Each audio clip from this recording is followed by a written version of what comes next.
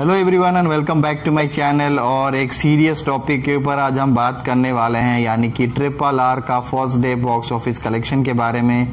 और ये मेरा ये एक प्रिडिक्शन ही है, क्योंकि पिछली बार जब लाइव में इसके बारे में मैंने डिस्कस किया था तो काफ़ी लोग जो है अवेलेबल नहीं थे तो इसलिए मैं वीडियो बना रहा हूँ क्योंकि उस वीडियो में मैंने सारा डिस्क्राइब किया हुआ था। सो so, प्रिडिक्शन से जाने से पहले जो है एक प्रॉब्लम अभी निकल के आया है यानी कि हाई टिकट प्राइस जो है हमको देखने को मिला है नॉर्थ में।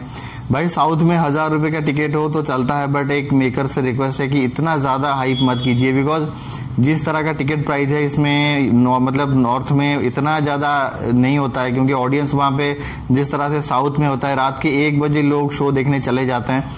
कितने भी पैसे आप टिकट प्राइस कर लो वहाँ पे लोग सपोर्ट करेंगे ही करेंगे।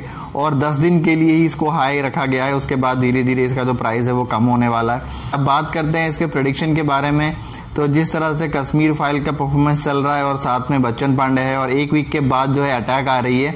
तो लगभग सात हज़ार से भी ज़्यादा स्क्रीन इसको मिले हैं और सोर्स के हिसाब से जितना मेरा प्रिडिक्शन कहता है, लगभग 117 करोड़ का इनकम हो सकता है, जैसे कि मैंने लाइव में बताया था।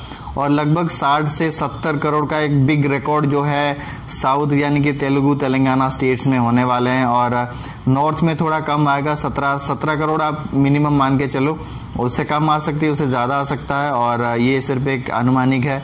और 24 तारीख तक हमको पता चल जाएगा कि कितना बुकिंग ओवरऑल हुआ है इस दो तीन दिन के अंदर। तो कुल मिला के 117 पूरा एक दिन का कलेक्शन जाएगा ग्रॉस वर्ल्ड वाइड मिला के। हिंदी वर्जन में थोड़ी सी कम होगी बिकॉज़ टिकट प्राइस हाई है और कश्मीर फ़ाइल का अभी तक मैं जाके चेक किया तो 96 परसेंट तक का ऑक्यूपेंसी है। पूरा थिएटर खचाखच, एक दो सीट आगे का छोड़ के बाकी सब फुल है। तो थोड़ा इम्पैक्ट तो कश्मीर फ़ाइल देने वाला है, जैसे कि मैंने लाइव में बताया था। कि 10 से 20 करोड़ का जो है नुकसान यहाँ पे ट्रिपल आर को होने वाला है, क्योंकि जिस तरह का बम्पर यहाँ पे प्रमोशन किया गया, इससे पहले कोई भी मूवी में प्रमोशन इस तरह के नहीं हुए थे। गुजरात से लेके बड़ोदरा, पंजाब, मुंबई, हैदराबाद, चेन्नई 90 परसेंट लोकेशन इन्होंने कवर कर लिया और बड़े बड़े जितने भी स्टेट्स हैं, वहाँ पे जाके प्रमोशन किया। तो बिग बजट फ़िल्म है और आई होप कि सारा जो बजट है, वो लगभग पहले तीन चार दिन के अंदर ही निकल जाएगा और डिजिटल सेटेलाइट राइट तो ऑलरेडी 700 करोड़ से ज़्यादा बिके हैं। तो ऑफिशियली जो है रेस्पॉन्स कितना आता है वो देखते हैं और रिव्यू भी हमारे चैनल पे अपलोड होगी। और मैं ट्राई करूँगा कि जो है पब्लिक रिव्यू चैनल पे आए। कुछ लोगों के यहाँ पे मैं अप्रोच किया हूँ पब्लिक रिव्यू अपलोड करने के लिए।